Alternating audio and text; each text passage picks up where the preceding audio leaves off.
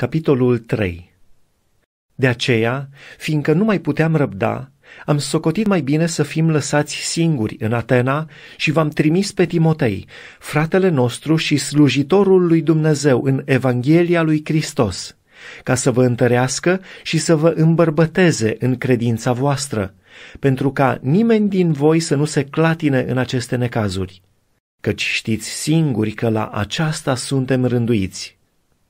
Și când eram la voi, v-am spus mai dinainte că vom avea să suferim necazuri, ceea ce s-a și întâmplat cum bine știți.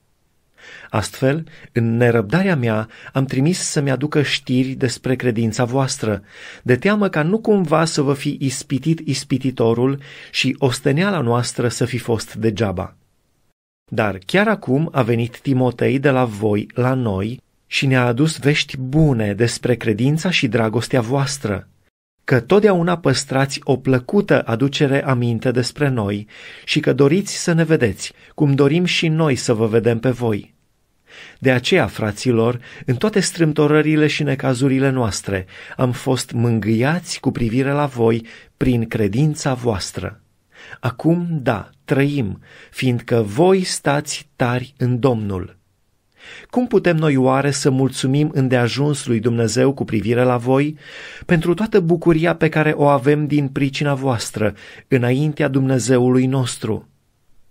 Zi și noapte îl rugăm nespus să vă putem vedea fața și să putem împlini ce mai lipsește credinței voastre. Însuși Dumnezeu, Tatăl nostru și Domnul nostru Isus Hristos să ne netezească drumul la voi. Domnul să vă facă să creșteți tot mai mult în dragoste unii față de alții și față de toți, cum facem și noi înșine pentru voi, ca să vi se întărească inimile și să fie fără prihană în sfințenie înaintea lui Dumnezeu, Tatăl nostru, la venirea Domnului nostru Isus Hristos împreună cu toți sfinții săi.